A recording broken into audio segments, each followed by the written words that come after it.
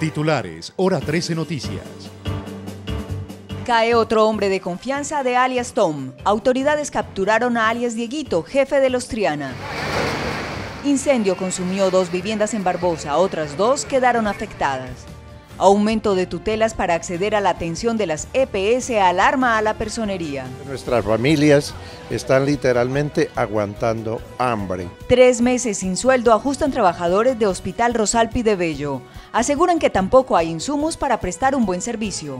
Se calcula que están en la informalidad aproximadamente un 85%. Brigadas por las calles de Medellín para que empleadas domésticas y empleadores conozcan derechos y deberes.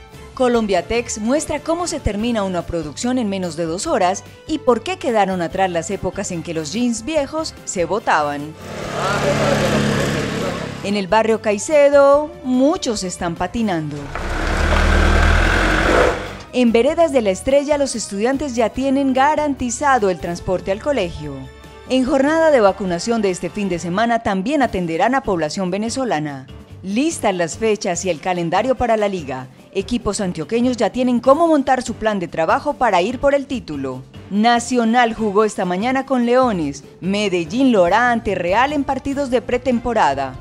Montañistas colombianos miran muy alto, le apuntan a recuperar la federación y a unir esfuerzos.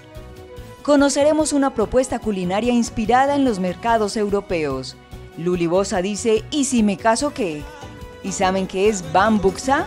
Se lo contamos en nuestro postre. Se bajó el palmar.